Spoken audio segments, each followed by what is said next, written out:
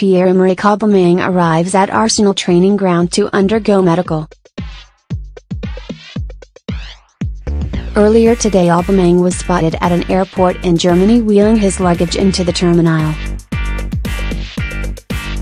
Speculation suggested he was on his way to London ahead of his move to and Sky Sports claim he has now turned up at the club's training ground to undergo a medical. Express Sport understands the two clubs have agreed a pound £55.5 million club record fee for his transfer.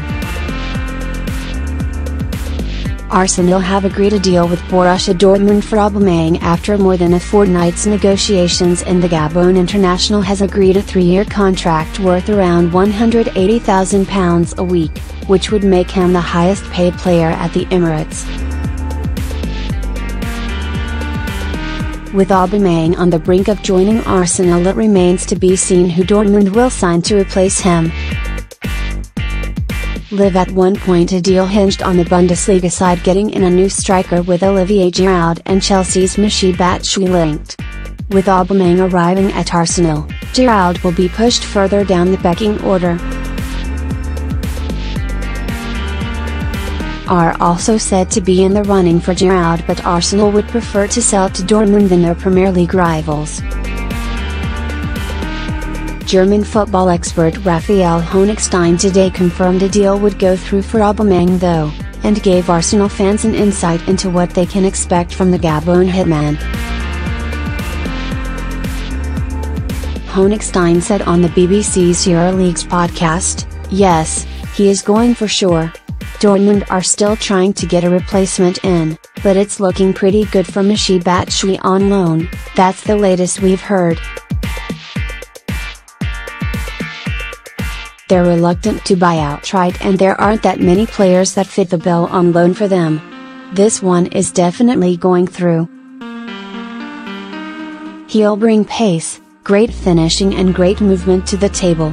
I think it'll be hard to get him to play alongside, Alexander, Lacazette. He's someone who will add goals for Arsenal, but I don't know if he'll individually lift the team to another level. I'm not sure he's that type of player.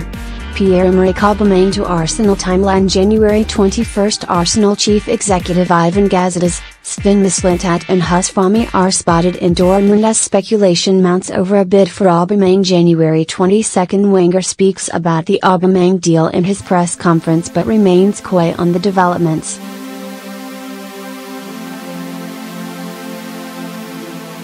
You never know how close you are, he said. This is the kind of thing, he is one of the possible movements, but we have other things in mind as well. We have plenty of opportunities and the final decision is not made. At the moment we are not close to any deal, Aubameyang or anybody else. January 25 Dortmund reject a bid of around £50 million for Aubameyang but talks continue. January 27 Michael Zorc tells Arsenal to pay up if they want Aubameyang either our demands are met, then there may be still a transfer, Zorc told Sky Sports Germany. But, if they are not fulfilled then Aubameyang plays until the summer in Dortmund.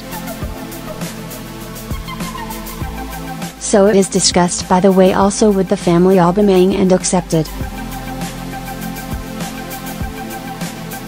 Arsenal has started several attempts that we have declined, so I cannot say how it will end at the moment. January 28 Arsenal agree £180,000 a week deal with Aubameyang to make him highest paid player in club's history.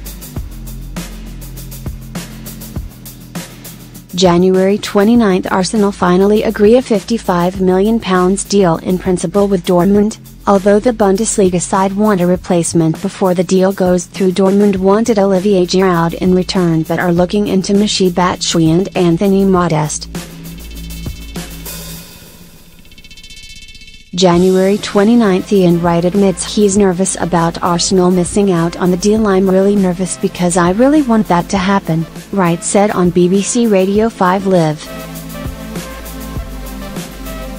Inadvertently Arsenal would have done good business by doing terrible business in the first place. They would have fallen on their feet. I'm so excited by that. January 30th Aubameyang gets a private jet from Dortmund to London and arrives at the Arsenal training ground.